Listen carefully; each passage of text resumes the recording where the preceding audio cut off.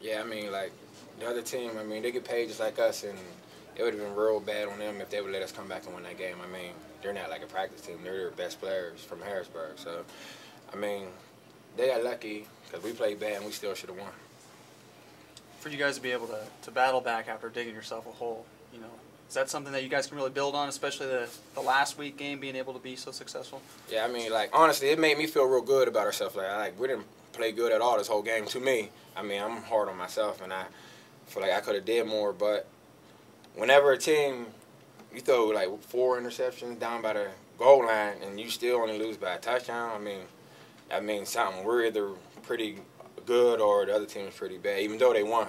I don't like. I seen so many teams. 2005 Erie, we went all the way. We was 10 and one and lost in the championship. So I rather lose now than to lose in the playoffs. How do you guys polish things up? Well, you know, GNC, McDonald's, you know, hit that hard, go hard. You know, I'm, this dink is back in here, you know. GNC, McDonald's, go hard. Six pack right here, baby.